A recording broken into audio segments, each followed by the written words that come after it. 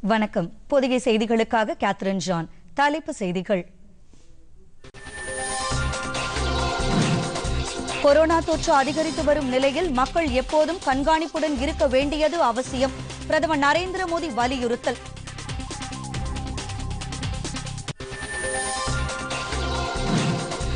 Corona பாதிப்பை எதிர்கொள்ள ஏதுவாக மகளிரின் ஜன்தன் வங்கி கணக்குகளில் முதல் தவணையாக ஐநூறு ரூபாய் வழங்கும் பணிகள் நிறைவு.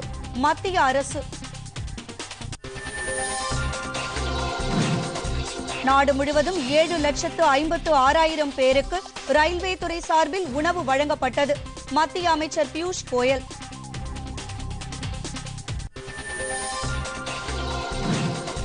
இந்தியாவில் ஹைட்ராக்சி குளோரோகுயின் மருந்துக்கு தட்டுப்பாடு ஏதும் இல்லை மத்திய அரசு விளக்கம்.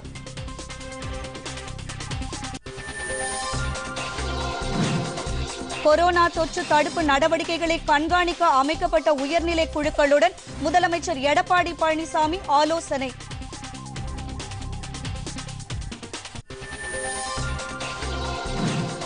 கொரோனா தொற்றால் உலகம் முழுவதும் உயிரிழந்தோர் எண்ணிக்கை எண்பத்து எட்டாயிரத்து ஐநூறை தாண்டியது. அமெரிக்காவில் இந்திய வம்சாவளியினர் பதினோரு பேர் பலி.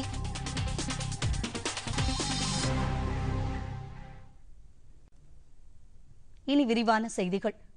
நாடு முழுவதும் கொரோனா தொற்று பரவலை தடுக்கும் நடவடிக்கையாக ஊரடங்கு நடைமுறையில் உள்ள நிலையில் ஊரடங்கை மேலும் நீட்டிக்க வேண்டும் என பல்வேறு மாநில அரசுகள் மாவட்ட நிர்வாகங்கள் கோரிக்கை விடுத்திருப்பதாக பிரதமர் நரேந்திர மோடி தெரிவித்துள்ளார்.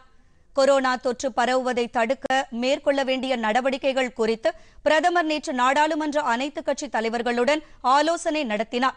காணொலி காட்சி மூலம் நடைபெற்ற இந்த ஆலோசனையின் போது அரசு தரப்பில் மேற்கொள்ளப்பட்டு வரும் நடவடிக்கைகள் குறித்து சுகாதாரம் உள்துறை மற்றும் ஊரக வளர்ச்சித்துறை செயலாளர்கள் விரிவாக எடுத்துரைத்தனர். அப்போது பேசிய பிரதமர் நாட்டின் தற்போதைய நிலைமை சமூக அவசர நிலை பிரகடனம் போன்று இருப்பதால் சில கடினமான முடிவுகளை அரசு மேற்கொள்ள வேண்டி இருப்பதுடன் தொடர்ந்து விழிப்புடன் இருப்பது அவசியம் என்று சுட்டிக்காட்டினார். தற்போது கடைபிடிக்கப்படும் ஊரடங்கை நீட்டிக்குமாறு பல்வேறு மாநில அரசுகள் மாவட்ட நிர்வாகங்கள் மற்றும் நிபுணர்கள் வலியுறுத்தி இருப்பதாகவும் பிரதமர் தெரிவித்தார். இந்த ஆலோசனையில் காங்கிரஸ் சார்பில் மாநிலங்களவை எதிர்க்கட்சித் தலைவர் குலாம் நபி ஆசாத் தேசியவாத காங்கிரஸ் தலைவர் சரத் பவார் அஇஅதிமுக சார்பில் நவநீத கிருஷ்ணன் திமுக சார்பில் அக்கட்சியின் நாடாளுமன்ற குழு தலைவர் டி ஆர் பாலு திரிணாமுல் காங்கிரஸ் கட்சியின் சுதீப் பந்தோபாத்யாயா ஆகியோர் பங்கேற்றனர். மேலும் சிவசேனா லோக் ஜனசக்தி சமாஜ்வாதி ஐக்கிய ஜனதா தள் பிஜு ஜனதா தள் அகாலி தள் ஆகிய கட்சிகளின் பிரதிநிதிகளும் கலந்து கொண்டு தங்களது கருத்துக்களை தெரிவித்தனர்.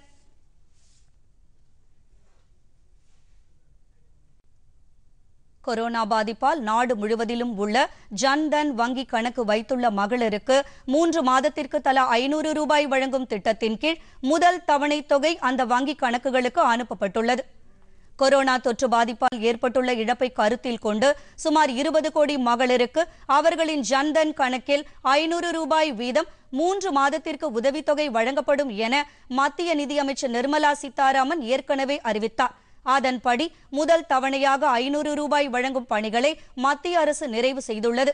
அதன்படி பயனாளிகளின் வங்கிக் கணக்குகளில் இந்த தொகை சேர்ந்திருக்கும் என்றும் அதனை தனிநபர் இடைவெளியை கடைபிடித்து மக்கள் வங்கிகளிலிருந்து எடுத்துக்கொள்ளலாம் என்றும் மத்திய அரசு அறிவித்துள்ளது.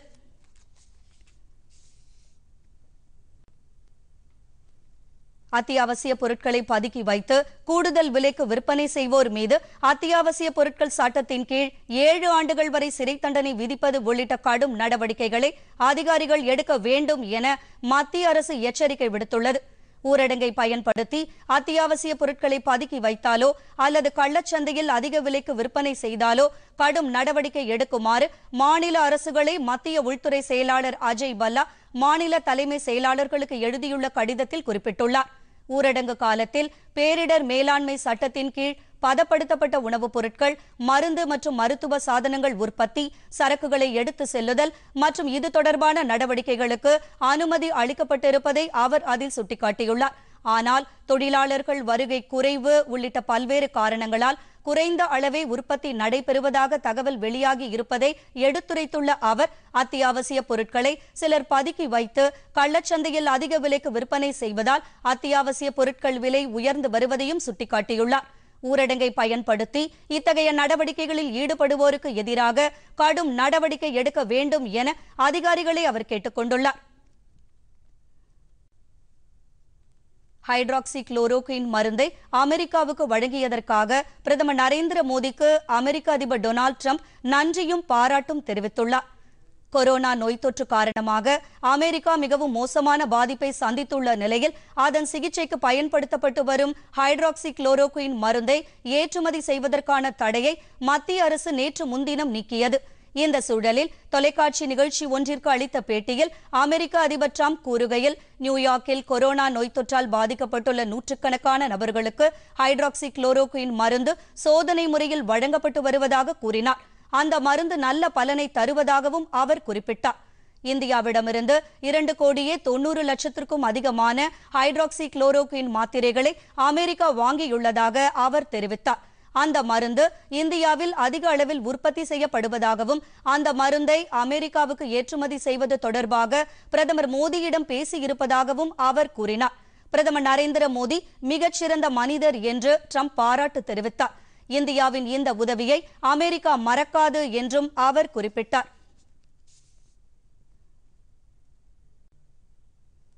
இந்தியாவில் தற்போது ஹைட்ராக்சி குளோரோக்வின் மருந்துக்கு தட்டுப்பாடு இல்லை எனவும் எதிர்காலத்தில் தட்டுப்பாடு ஏற்படாது என்றும் மத்திய சுகாதாரத்துறை இணை செயலாளர் லாவ் அகர்வால் தெரிவித்துள்ளார். தில்லியில் செய்தியாளர்களிடம் பேசிய அவர் நாட்டில் இன்றைய தேவை மட்டுமல்லாமல் ஹைட்ராக்சி குளோரோக்வின் மருந்து எப்போது தேவைப்பட்டாலும் அதற்கேற்ற அளவில் மருந்து இருப்பு உள்ளது என்று கூறினார். கொரோனா தொற்றால் அதிகம் பாதிக்கப்பட்ட நாடுகளுக்கு மனிதநேய அடிப்படையில் உதவும் வகையிலேயே இந்தியாவிலிருந்து பாராசிட்டமல் மற்றும் ஹைட்ராக்சி குளோரோகுயின் மருந்துகளை ஏற்றுமதி செய்ய விதிக்கப்பட்டிருந்த தடை நீக்கப்பட்டதாக அவர் விளக்கமளித்தார். கொரோனா தொற்று உறுதி செய்யப்பட்ட நோயாளிகளுக்கு உரிய மருத்துவர்களின் பரிந்துரையின்படிதான் ஹைட்ராக்சி குளோரோகுயின் மருந்து வழங்கப்பட வேண்டும் என்று இந்திய மருத்துவ ஆராய்ச்சி மையம் அறிவுறுத்தி உள்ளதாக அவர் குறிப்பிட்டார். இந்த நிலையில் உள்நாட்டு தேவை மற்றும் ஏற்றுமதி தேவையை பூர்த்தி செய்யும் வகையில் ஹைட்ராக்சி குளோரோக்வின் மருந்து உற்பத்தியை அதிகரிக்க தயாராக உள்ளதாக மருந்து தயாரிப்பு நிறுவனங்கள் தெரிவித்துள்ளன என்றும் சுகாதாரத்துறை இணை செயலாளர் லாவ் அகர்வால் கூறியுள்ளார். கொரோனா தொற்று பாதிப்பால் தெற்காசிய நாடுகளின் கூட்டமைப்பான சார்க் நாடுகள் இடையே ஏற்பட்டுள்ள வர்த்தக பாதிப்புகள் மற்றும் பயண கட்டுப்பாடுகளால் எழுந்துள்ள சூழல் குறித்து இந்த நாடுகளின் மூத்த வர்த்தக அதிகாரிகள் நேற்று காணொலி காட்சி மூலம் ஆலோசனை நடத்தினர். சார்க் நாடுகளுக்கு இடையே கொரோனா தொற்றை எதிர்கொள்வதில் பரஸ்பரம் தகவல்களை பகிர்ந்து கொள்வது தனி நிதியத்தை ஏற்படுத்துவது என கடந்த மாதம் பதினைந்தாம் தேதி நடைபெற்ற இந்த நாடுகளின் தலைவர்கள் ஆலோசனைக் கூட்டத்தில் பிரதமர் நரேந்திர மோடி அறிவித்திருந்தார். அதனைத் தொடர்ந்து தற்போது சார்க் நாடுகளின் வர்த்தக அதிகாரிகள் நிலையிலான ஆலோசனை நடைபெற்றது. இதுகுறித்து வெளியுறவுத்துறை வெளியிட்டுள்ள செய்திக்குறிப்பில் பாகிஸ்தான் தவிர்த்து இதர நாடுகள் இந்த காணொலி காட்சி ஆலோசனையில் பங்கேற்றதாக தெரிவிக்கப்பட்டுள்ளது. இந்த நாடுகளுக்கு இடையே வர்த்தக பாதிப்பு குறிப்பிடத்தக்க அளவுக்கு தாக்கத்தை ஏற்படுத்தி இருப்பதாக கூட்டத்தில் தெரிவிக்கப்பட்டது. இதனை ஒன்றிணைந்து எதிர்கொண்டு வர்த்தகத்தை இயல்பு நிலைக்கு கொண்டு வருவது தொடர்பாக நேற்றைய ஆலோசனையின் போது விவாதிக்கப்பட்டது. மேலும் சார்க் நாடுகளுக்கு இடையே அத்தியாவசிய வர்த்தகத்தை தொடர்ந்து பராமரிப்பது என்றும் முடிவு செய்யப்பட்டது. ஒவ்வொரு நாடுகளுக்கு இடையேயும் தொடர் இடைவெளியில் நெருக்கமான உறவுகளை பராமரிப்பது என்றும் கூட்டத்தில் முடிவு செய்யப்பட்டதாக வெளியுறவு அமைச்சகம் தெரிவித்துள்ளது. கொரோனா பாதிப்புக்கான பரிசோதனைகளை அனைத்து மக்களும் கட்டணமின்றி மேற்கொள்வதை உறுதி செய்யுமாறு மத்திய அரசை உச்சநீதிமன்றம் கேட்டுக் கொண்டுள்ளது இது தொடர்பான வழக்கை விசாரித்த நீதிபதிகள் அசோக் பூஷன் மற்றும் ரவீந்திர பட் ஆகியோர் அடங்கிய அமர்வு தனியார் ஆய்வுக் கூடங்களில் இலவசமாக பரிசோதனை மேற்கொள்ள அனுமதிக்குமாறும் இதற்கான கட்டணத்தை அரசே செலுத்துவதற்கான வாய்ப்புகளை பரிசீலிக்குமாறும் அரசே கேட்டுக் கொண்டுள்ளது தனியார் ஆய்வுக்கூடங்கள் அதிக கட்டணம் வசூலிப்பதை அனுமதிக்க கூடாது என்றும் நீதிபதி அசோக் பூஷன் தெரிவித்தார். இந்த விசாரணையின் போது மத்திய அரசு சார்பில் ஆஜரான சாலிசிட்டர் ஜெனரல் துஷார் மேத்தா நீதிமன்றத்தின் யோசனைகளை அரசிடம் தெரிவிப்பதாக கூறினார்.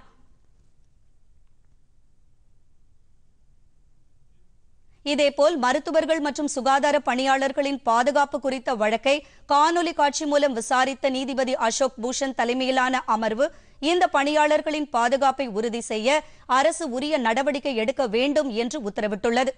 கொரோனாவால் பாதிக்கப்பட்டவர்களுக்கு சிகிச்சை அளிப்பதில் முன்னிலையில் உள்ள மருத்துவர்கள் செவிலியர்கள் போன்ற சுகாதார பணியாளர்களுக்கு தனிநபர் பாதுகாப்பு கவசங்கள் மற்றும் பிற வசதிகளை செய்து கொடுக்க வேண்டும் என நீதிபதிகள் அறிவுறுத்தியுள்ளனா்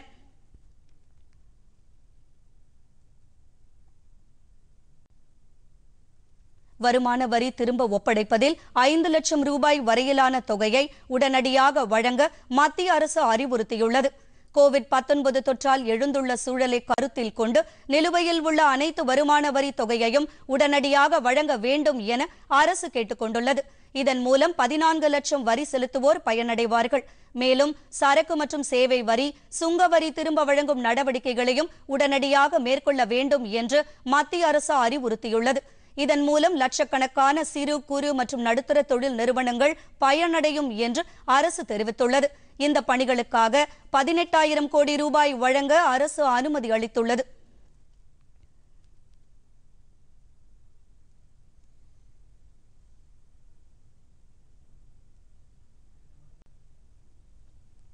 வெந்நீர் கொண்டு ஆவி பிடிப்பதால் கொரோனா தொற்றை அழித்துவிட முடியும் என்பதற்கு எந்தவித அறிவியல் ரீதியிலான ஆதாரமும் இல்லை என்று இந்திய மருத்துவ ஆராய்ச்சிக் கழகம் தெரிவித்துள்ளது. கொரோனா தொற்றிலிருந்து மக்கள் தங்களை பாதுகாத்துக் கொள்வதற்கு தனிநபர் இடைவெளியை கடைபிடிப்பதுடன் அடிக்கடி கைகளை சோப்பு கொண்டு கழுவுவதுடன் சுத்தமாக வைத்துக் கொள்வது அவசியம் என்பதை கருத்தில் கொள்ள வேண்டும் என்று ஐசிஎம்ஆர் தெரிவித்துள்ளது. கொரோனா தொற்று தொடர்பான அச்சங்களை பகிர்வதை தவிர்த்து உண்மைகளை அனைவருக்கும் தெரிவிப்பது அவசியம் என்று ஐசிஎம்ஆர் தெரிவித்துள்ளது.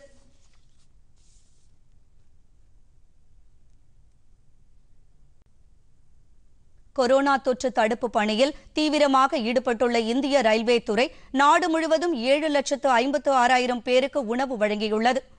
பல்வேறு ரயில் நிலையங்களில் தவிக்கும் வெளிமாநில தொழிலாளர்கள் மற்றும் ஆதரவற்றோருக்கு இந்த உணவு வழங்கப்பட்டதாக ரயில்வே அமைச்சர் பியூஷ் கோயல் தமது டுவிட்டர் பதிவில் தெரிவித்துள்ளார்.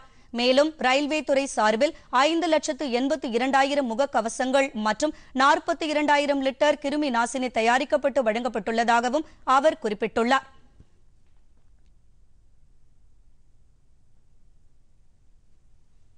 இதற்கிடையே ரயில்வே சார்பில் இரண்டாயிரத்து ஐநூறுக்கும் மேற்பட்ட மருத்துவர்கள் மற்றும் முப்பத்து ஐந்தாயிரம் துணை மருத்துவ அலுவலர்கள் கொரோனா தொற்று தடுப்பு பணியில் ஈடுபடுத்தப்பட்டு இருப்பதாக அந்த துறையின் செய்திக்குறிப்பு தெரிவிக்கிறது.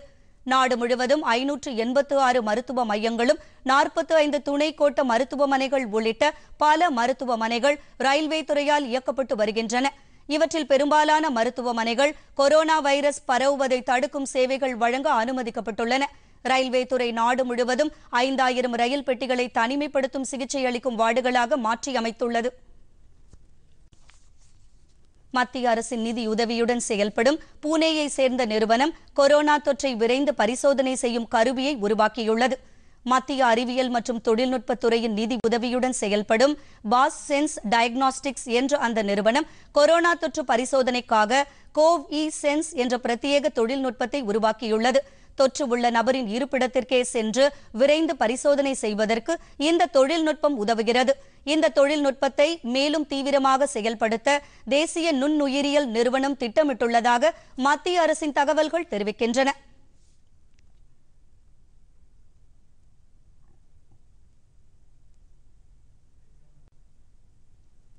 கொரோனா தொற்று பாதிப்புக்கு உள்ளான தில்லியின் இருபது முக்கிய பகுதிகள் சீல் வைக்கப்பட்டிருப்பதாக துணை முதலமைச்சர் மனிஷ் சிசோடியா தெரிவித்துள்ளார்.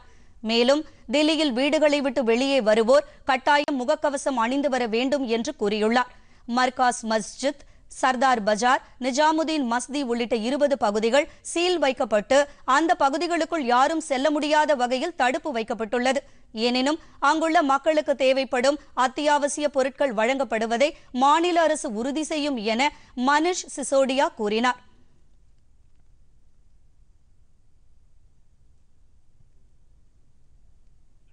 இதற்கிடையே மும்பையில் வீடுகளை விட்டு வெளியே வருவோர் கண்டிப்பாக முகக்கவசம் அணிய வேண்டும் என்று மகாராஷ்டிரா முதலமைச்சர் உத்தவ் தாக்கரே தெரிவித்திருக்கிறார். முகக்கவசம் அணியாமல் வருவோருக்கு எதிராக உரிய சட்டத்தின் கீழ் நடவடிக்கை எடுக்க வேண்டும் என்றும் அவர் கூறியுள்ளார். தவிர இம்மாநிலத்தில் பூனே நாக்பூர் உள்ளிட்ட பல்வேறு மாவட்டங்களில் ஊரடங்கு கட்டுப்பாடுகள் தீவிரப்படுத்தப்பட்டுள்ளன. உத்தரப்பிரதேச மாநிலத்தில் பதினைந்து மாவட்டங்கள் முழுமையாக சீல் வைக்கப்பட்டு கண்காணிக்கப்பட்டு வருகின்றன. மத்திய பிரதேச மாநிலத்தில் பத்தொன்பது மாவட்டங்கள் அடங்கிய முக்கிய பகுதிகள் சீல் வைக்கப்பட்டு கொரோனா தொற்று தடுப்பு நடவடிக்கைகள் தீவிரப்படுத்தப்பட்டுள்ளன. சீல் வைக்கப்பட்ட பகுதிகளுக்கு யாரும் செல்வதற்கோ அல்லது அங்கிருந்து வெளியேறுவதற்கோ சம்பந்தப்பட்ட மாநில அரசுகள் தடை விதித்துள்ளன.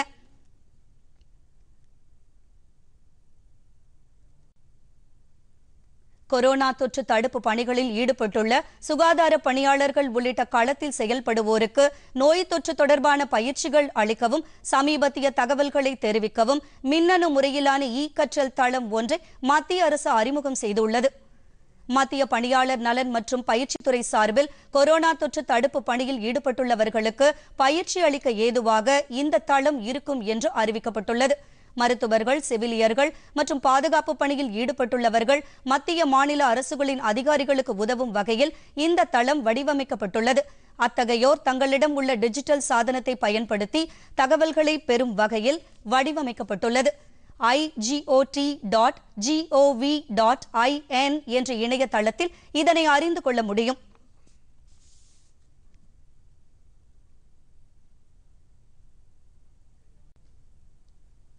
கொரோனா வைரஸ் தொற்று தொடர்பாக பல்வேறு வதந்திகளும் ஆவணங்களும் சமூக ஊடகங்களில் வலம் வருவதாகவும் அவற்றில் உண்மைத்தன்மை குறித்து மக்கள் அறிந்து கொள்ள வேண்டும் என்றும் மத்திய அரசு அறிவுறுத்தியுள்ளது.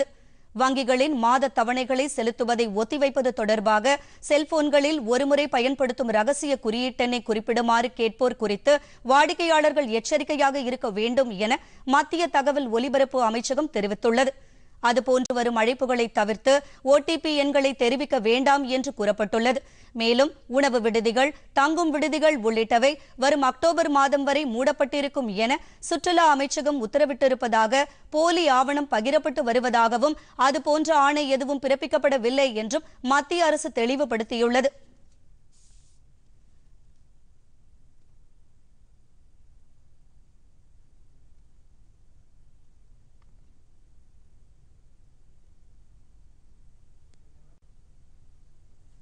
மாவோயிஸ்ட் தீவிரவாதிகளின் வெடிகுண்டு தாக்குதலில் பிஜேபி சட்டமன்ற உறுப்பினர் பீமா மாண்டவி மற்றும் நான்கு காவலர்கள் கொல்லப்பட்ட சம்பவத்தில் தொடர்புடைய இரண்டு பேரை தேசிய புலனாய்வு முகமையான ஐஎன் என்ஐஏ கைது செய்துள்ளது. சத்தீஸ்கர் மாநிலம் தண்டேவாடா அருகில் ஷியாம்கிரி என்ற கிராமத்தில் கடந்த ஆண்டு இந்த சம்பவம் நேரிட்டது. இது தொடர்பாக விசாரணை நடத்தி வந்த என்ஐஏ பீமா தாட்டி மக்காராம் என்ற இருவரை தண்டேவாடா அருகே திகான்பால் கிராமத்தில் நேற்று கைது செய்தனர். அவர்கள் சிறப்பு என்ஐஏ நீதிமன்றத்தில் ஆஜர்படுத்தப்பட்டு விசாரணைக்காக அழைத்து செல்லப்பட்டனர்.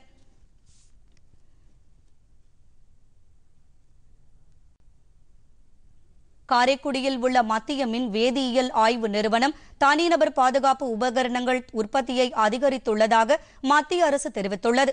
இது தொடர்பாக வெளியிடப்பட்டுள்ள அறிக்கையில் கொரோனா தொற்றை தடுக்கும் நோக்கில் கிருமி நாசினிகள் உள்ளிட்டவற்றை இந்த நிறுவனம் தயாரித்து தேவைப்படும் அரசு நிறுவனங்கள் மற்றும் அமைப்புகளுக்கு இலவசமாக வழங்குவதாக கூறப்பட்டுள்ளது. அது மட்டுமின்றி இந்த நிறுவனம் முகக்கவசம் தயாரிக்கும் பயிற்சியை கிராமப்புற பெண்களுக்கு வழங்குவதாகவும் அந்த அறிக்கையில் குறிப்பிடப்பட்டுள்ளது.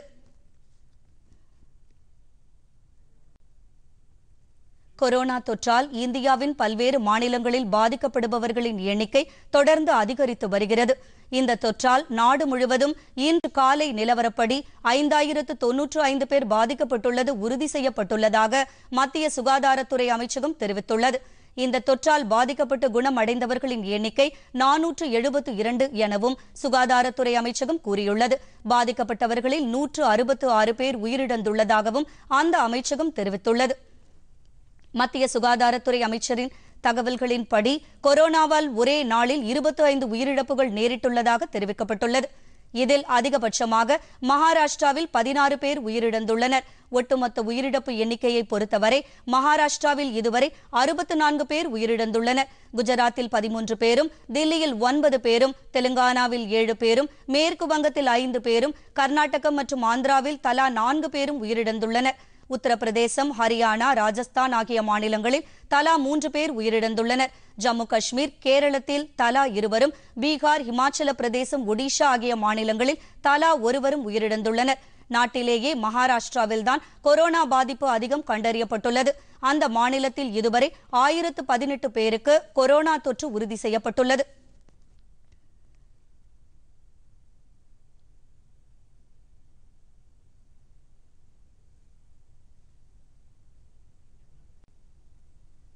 தமிழகத்தில் கொரோனா தடுப்பு மற்றும் கண்காணிப்பு பணிகளை மேற்கொள்ள அரசின் சார்பில் அமைக்கப்பட்ட குழுக்களின் பிரதிநிதிகளுடன் முதலமைச்சர் எடப்பாடி பழனிசாமி சென்னையில் இன்று ஆலோசனை நடத்துகிறார். இந்த ஆலோசனையில் ஐஏஎஸ் அதிகாரிகள் காவல்துறை தலைமை இயக்குநர் சென்னை மாநகர காவல்துறை ஆணையர் உள்ளிட்ட குழுக்களில் இடம்பெற்றுள்ள அதிகாரிகள் பங்கேற்கிறார்கள். ஏற்கனவே கடந்த வாரம் இந்த குழுவினருடன் முதலமைச்சர் ஆலோசனை நடத்திய நிலையில் இன்று நடைபெறும் கூட்டத்தில் மாநிலத்தில் மேற்கொள்ளப்பட்டு வரும் கொரோனா தடுப்பு பணிகள் மற்றும் சுகாதாரத்துறையின் செயல்பாடுகள் குறித்து கேட்டறிகிறாா்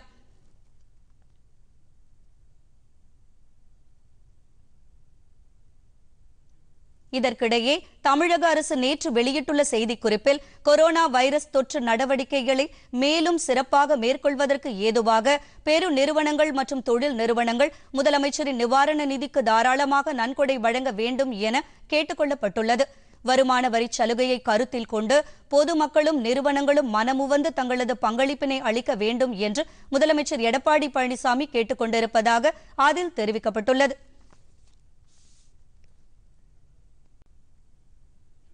கரூர் மாவட்டம் குளித்தலை அரசு மருத்துவமனையில் நூறு படுக்கைகள் கொரோனா தொற்று சிகிச்சைக்காக ஒதுக்கப்பட்டுள்ளன என்று மாநில போக்குவரத்துத்துறை அமைச்சர் எம் ஆர் விஜயபாஸ்கர் கூறியுள்ளார்.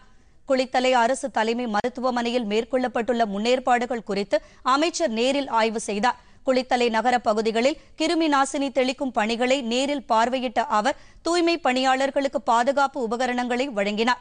கிருஷ்ணராயபுரம் ஊராட்சி ஒன்றியம் கள்ளப்பள்ளி பகுதியில் விழிப்புணர்வு துண்டு பிரசுரங்களை பொதுமக்களுக்கு விநியோகித்த அவர் அரசின் நடவடிக்கைகளுக்கு ஒத்துழைப்பு அளிக்குமாறு கேட்டுக்கொண்டார்.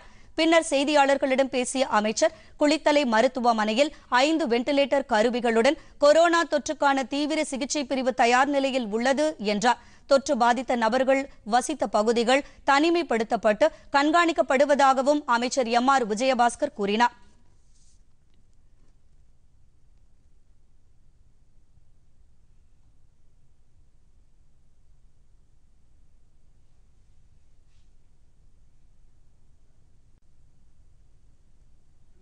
விருதுநகர் மாவட்டத்தில் தூய்மை பணியாளர்களுக்கு பாதுகாப்பு உபகரணங்கள் மற்றும் அத்தியாவசிய பொருட்களை மாவட்ட ஆட்சியர் கண்ணன் வழங்கினார்.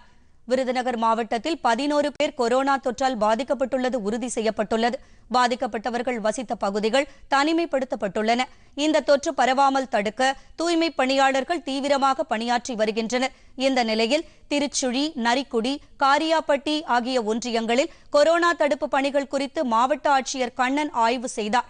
அப்போது நூற்று முப்பத்தி எட்டு தூய்மை பணியாளர்களுக்கு அத்தியாவசிய பொருட்கள் மளிகை பொருட்கள் மற்றும் பாதுகாப்பு உபகரணங்களை ஆட்சியர் வழங்கினார்.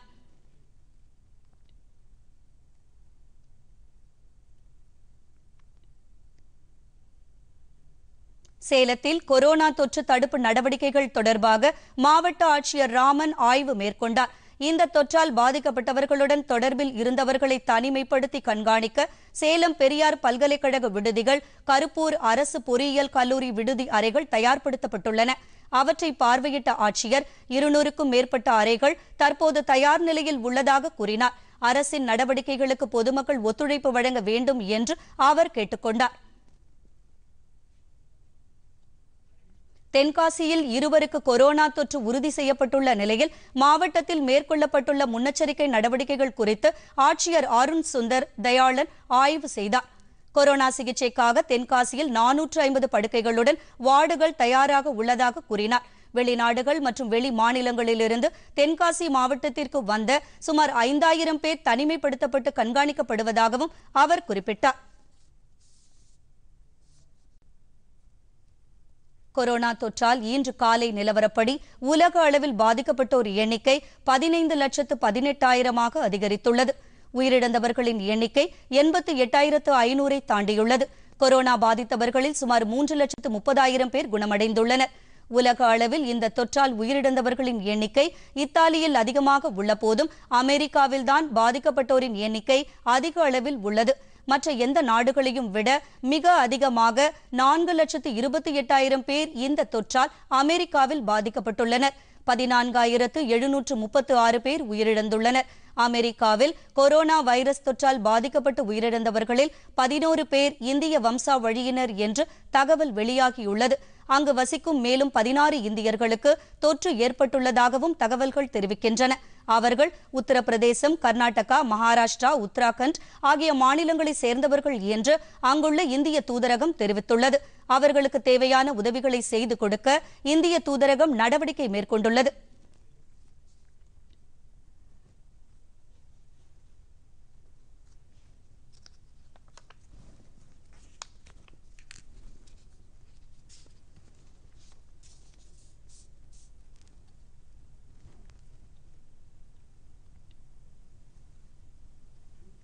இத்தாலியில் இந்த தொற்றால் ஒரு லட்சத்து முப்பத்து ஒன்பதாயிரம் பேர் பாதிக்கப்பட்டுள்ள நிலையில் பதினேழாயிரத்து அறுநூற்று அறுபத்து ஒன்பது பேர் உயிரிழந்துள்ளனர். ஸ்பெயினில் பதினான்காயிரத்திற்கும் மேற்பட்டவர்கள் இந்த தொற்றால் பாதிக்கப்பட்டு உயிரிழந்துள்ள நிலையில் ஒரு லட்சத்து நாற்பத்தி எட்டாயிரம் பேர் பாதிக்கப்பட்டுள்ளனர்.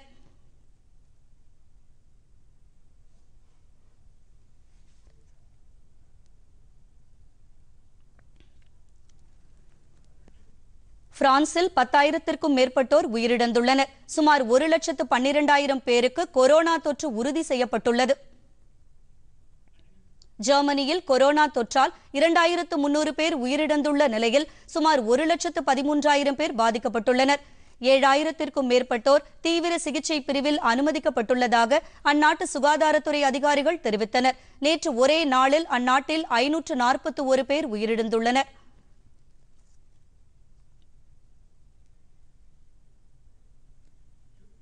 ஈரானில் உயிரிழந்தவர்களின் எண்ணிக்கை நான்காயிரத்தை எட்டியுள்ளது. அந்நாட்டில் கொரோனா தொற்றால் சுமார் அறுபத்து ஐந்தாயிரம் பேர் பாதிக்கப்பட்டுள்ளனர்.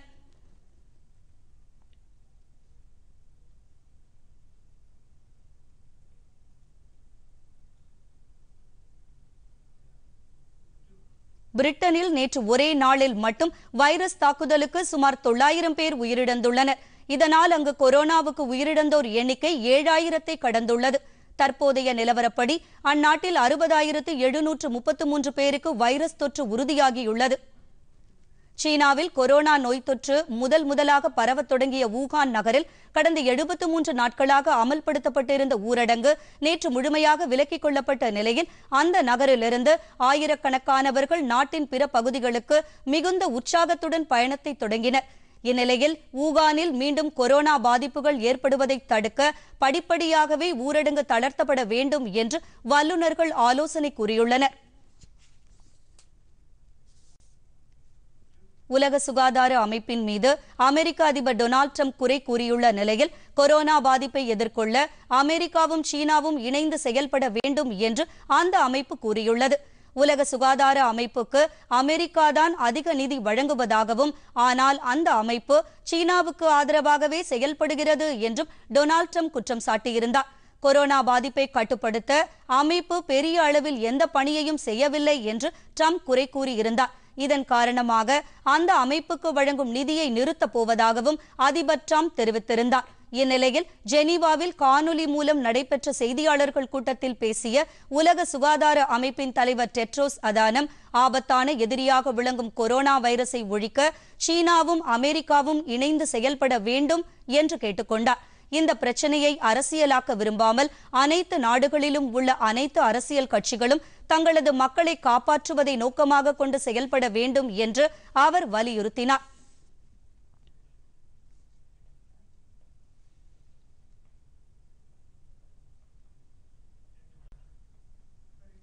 மீண்டும் தலைப்பு செய்திகள்.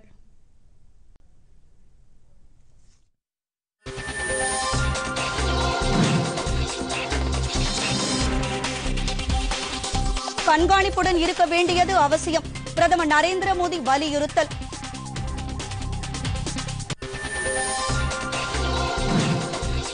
கொரோனா பாதிப்பை எதிர்கொள்ள ஏதுவாக மகளிரின் ஜன்தன் வங்கி கணக்குகளில் முதல் தவணையாக ஐநூறு ரூபாய் வழங்கும் பணிகள் நிறைவு மத்திய அரசு.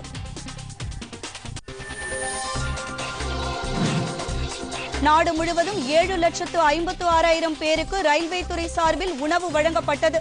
மத்திய அமைச்சர் பியூஷ் கோயல்.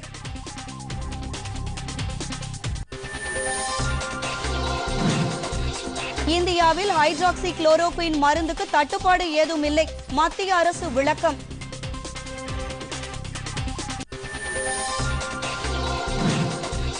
கொரோனா தொற்று தடுப்பு நடவடிக்கைகளை கண்காணிக்க அமைக்கப்பட்ட உயர்நிலை குழுக்களுடன் முதலமைச்சர் எடப்பாடி பழனிசாமி ஆலோசனை.